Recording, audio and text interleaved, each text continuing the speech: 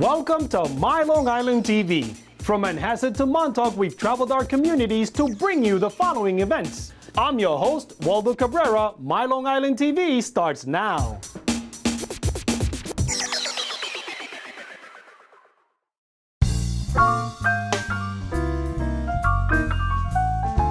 Every other year, the Heckscher Museum of Art in Huntington exhibits the best work of local artists at the Long Island Biennial. The Biennial is special because it's Long Island artists and it has an array of work that ranges from sculpture to drawing to printmaking um, to found objects to mixed media. Today, the museum is hosting an event where the public gets to have a talk with three of the artists in this prestigious show. And each one of them did very unique works that were completely different from each other, and we thought that that would bring the best um, insight to the artist's mind to our people. The thing that we hope most happens with it is that um, the audience will actually understand some of the, the, the work the insight, the thought process that actually goes on with an artist when they create a work. First up is Margaret, a talented photographer that is hyper aware of her surroundings. I went to Long Island University post and I worked with Arthur Leipzig. He was the, head, the chair of the art department at the time. Just jump ahead one picture to show you what was in my master's thesis. Dinner napkins and the next one is the luncheon napkins. So what I basically did is I photographed whatever I had around my house. They said the artwork had to be done within the last two years. And I did paper a long time ago. So I said to myself, you did it once, why can't you do it again? So I chose coffee filters to do. And then you take all these pictures and you look at them and you say, ah, that's it. You know, that's why I like paper. You don't really know until you've actually printed what you have. The people that exhibit here are very, very talented. And so for me to be able to come here was a big pleasure. It was a great pleasure.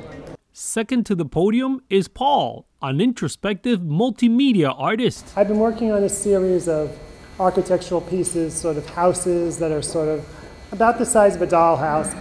The more I darken the lights, I found that people had to forced to interact with them, which is really a big part of them. I wanted to see how people interacted with what they were seeing, if they were getting it. Well, I've been working on a series, and this is one of them, house pieces that are made out of recyclable materials.